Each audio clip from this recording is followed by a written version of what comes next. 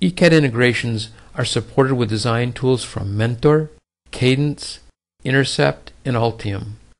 An EDA integration gateway is also available that enables integrations with other third-party tools. Using the Teamcenter menu embedded into the native design tool, ECAD designers can quickly navigate to their design dataset and open the design for viewing or editing. Here we see the PCB file has been opened with Altium and the schematic as well. Once opened, the embedded Teamcenter menu allows ECAD designers to gather information about the status of the design, such as the revision, circuit card assembly name, if it's checked out and by whom, as well as the working directory without leaving their native CAD tool environment.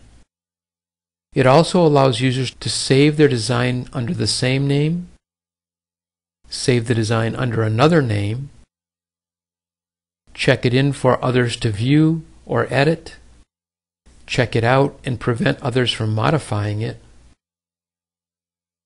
When saving a design, the menu-driven user interface guides the users through the process of saving, naming, and checking in the design. As part of the save process, the dialog highlights options available for storing the native design files, mechanical interchange files, fabrication and assembly data, as well as the generation of neutral format visualization files and bill of material files required for downstream users.